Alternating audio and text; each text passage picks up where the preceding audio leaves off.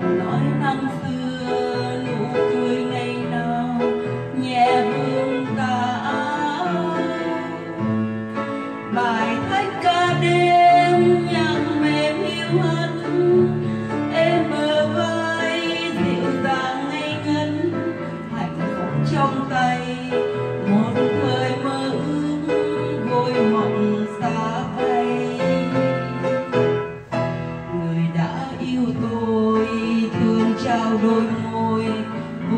thân anh